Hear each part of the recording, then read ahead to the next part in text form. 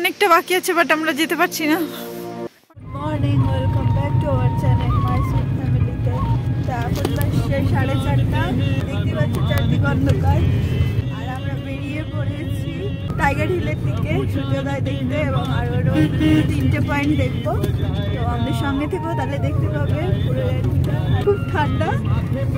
চলো মজা হবে। এখন বাজছে পাঁচটা একান্ন।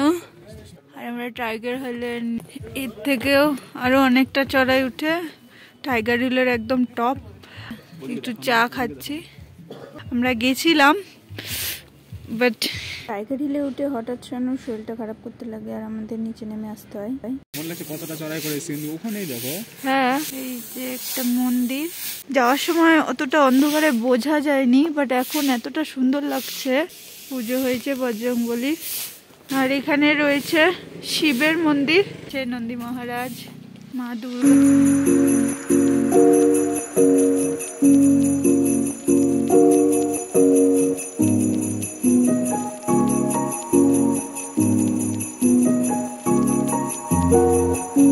যে লেক, মাঝখানে একটা শিবের মূর্তি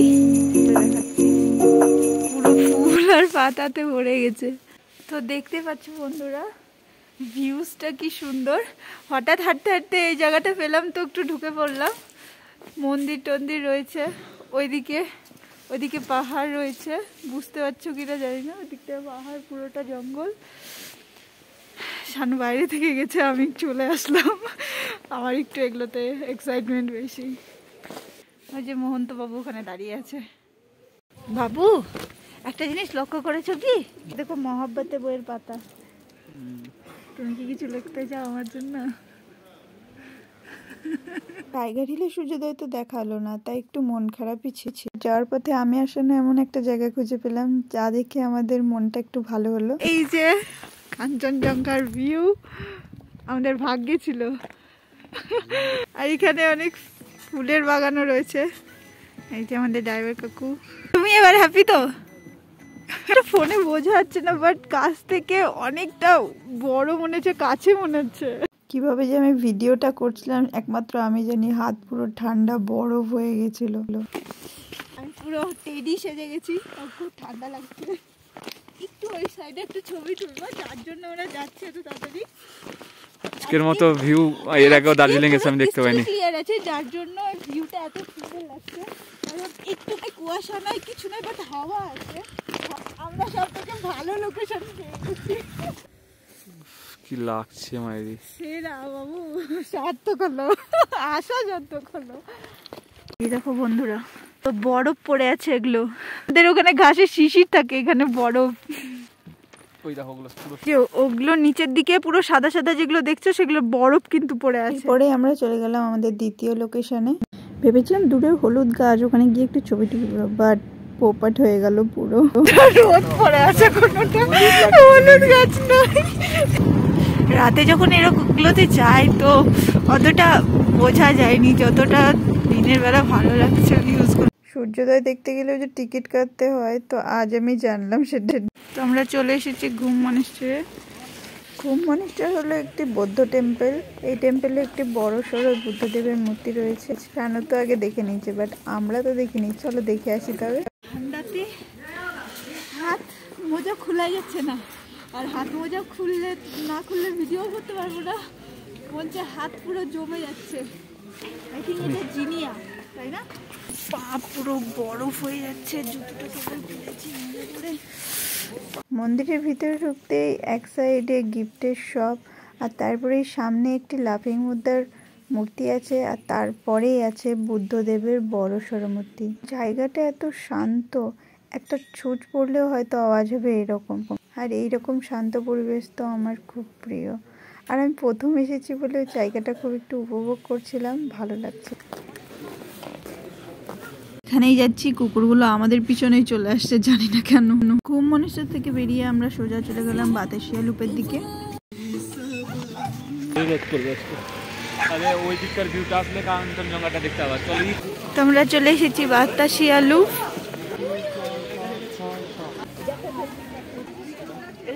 তো আমরা বাতাসিয়া লুপের ভেতরে প্রবেশ করে গেছি চারিদিকে শুধু ফুল আর ফুল কত ফুল পাওয়া যায় চলো না উপরে দূরবীন ওই দেখো কাঞ্চনজঙ্ঘা দেখেছো हम आपको पूरा 17 व्यू गाइड करके बता देंगे গেল এখন কাঞ্চনজঙ্ঘার ক্লোজ ভিউ দেখতে लग रहा है ना हम बाहर देख पड़ा है ना वो सारा नेपाल बसता है इधर है यहाँ से मुंह का भाव लग गया आपको इधर से बैठ गए ये छोटी वाला मशीन है ट्वेंटी थाउजेंड इसका पीछे ছোট্ট মেঘের মতো টিলা দেখতে ওইটা ওখানে আমার সামনে সামনে ওকে বাচ্চা লাগছে তুমি একটা জিনিস দেখছ কি? যে কাঞ্চনজঙ্ঘাটা আস্তে আস্তে মেঘে ঢেকে হ্যাঁ ওখানকার ভিউটা বেশি ভালো লাগছিল বলো? এখানকার থেকে কাঞ্চনজঙ্ঘা না ভিউ ভালো লাগছিল। না। বুঝো তুমি বুঝতে পারলে না। ঢেকে যাচ্ছে কাঞ্চনজঙ্ঘা আস্তে আস্তে মেঘে। পরে আমরা চলে আসলাম একটু বাগানের দিকে। গলে সূর্যোদয় দেখতে পাইনি বাট বাতাসিয়া লুপে এসে সূর্যোদয় দেখে নিলাম। জানি একটু দাঁড়াও বাবু বাপরে ঠান্ডা লেগে গেছে। কি ভালো লাগছে না হ্যাঁ, বরফ হয়ে গেছে আমার। হাতটা মনে রিলিফ পেলাম। এই যে এই হলো ল্যাভেন্ডার গাছ যেটা থেকে বিভিন্ন সুগন্ধি দ্রব্য তৈরি হয়। তো এখান থেকে এখন আমি ড্রেস পরবো। এখান থেকে বেছে নিব কোনটা নিই। তো আমি পছন্দ করলাম সবুজটাই। বাতাসিয়া লুপে এসে ড্রেস পরে নিয়েছি।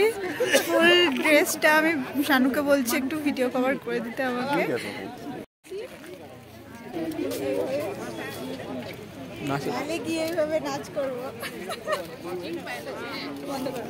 আমাদের দুজনেরই পাহাড় এত পছন্দ যে পাহাড়ে আসলে কোথায় যেন হারিয়ে যায় মন মন। তোমার কি যেতে মন করছে না? এই যে এই ফুলটার নাম হলো ড্যাফেলস। কাঞ্চনজঙ্ঘাকে দেখতে গিয়ে শানু রাস্তায় ভুলে গেছে। লাস্টে আমি রাস্তা খুঁজে দিলাম। একটু গান্ডুটাকে দেখি গান বাহাদুর। দুটাকেই দিও। ওখানে ওখানে দিয়ে দাও।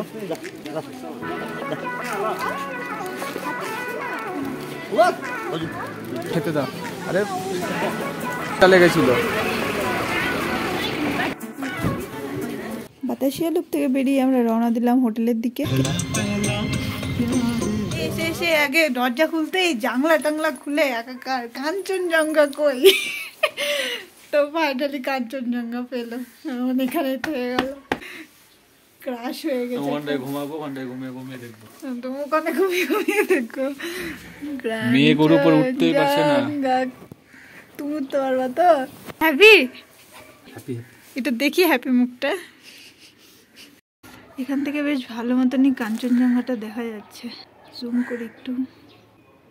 ওখানে একটু বসবো, স্নান টান করি, তারপরে যাব আবার রক গার্ডেনে রক গার্ডেনে ঠিক গার্ডেন আজকে যাবে জানি না, তারপরে আবার কালকে ঘোরাঘুরির পালা আছে।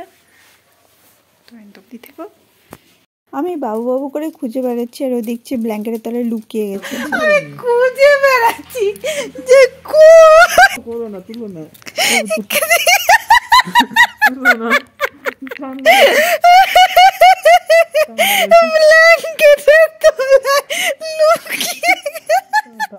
ফার্স্ট চলে এসেছে ব্রেকফাস্টে আছে ঘুগনি পুরি লাড্ডু। শানুর তো খিদা পেয়ে গেছে তাই খেতে শুরু করে দিয়েছে। আমারও খিদা পেয়েছে কিন্তু ব্ল্যাঙ্কেট থেকে বেরাতে ইচ্ছা করছে না। বাইরে। খাওয়া দাওয়া করে আমরা বেরিয়ে পড়লাম বৌদ্ধ টেম্পলের দিকে। বৌদ্ধ টেম্পলের চারিদিকটা ঠিক এরকম। এই দেখো বলেছিলাম তোমাকে এই যে বৌদ্ধ টেম্পলের সাইডে ওয়াও ফুলগুলো কি সুন্দর গো।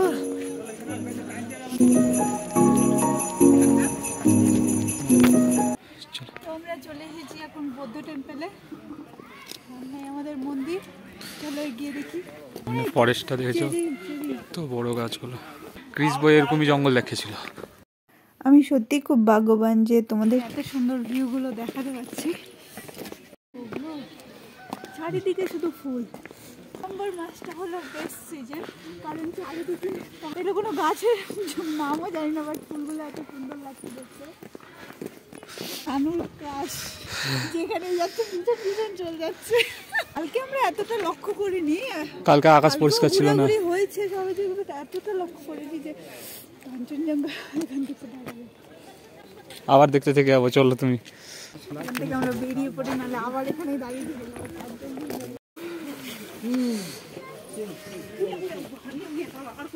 খোলার পর পাটা কেমন মনে হচ্ছে? জলে চলো। এরকম। তো তখন একটু ঘোরার মতো অবস্থা নেই আমার পায়ে। শূন্য হয়ে যাচ্ছে। এখানে এসে তুমি দাঁড়িয়ে যাব আমি জানি। মা গরম নাই তো দাও একটু গরম আছে। লাগছে না কি অবস্থা? ফালতু ফালতু ঘোরালাম আমাকে তুমি। আর্টে মানে আমি আর্ট করি তো তো মানে আমি আর্টের সিনারি বা বইয়ে এরকম দেখেছি যে পাহাড় উপর পাহাড় তারপরে এরকম পাইন গাছ পাইন গাছই তো বলে আমি ঠিক জানি না। পাইন গাছের মধ্যে এরকম উঠে চলে গেছে, লম্বা লম্বা। মানে পুরো সিনারি মনে হচ্ছে। বাস্তবে আছি তো কখনো বিশ্বাসই মনে হচ্ছে না মাঝে মাঝে।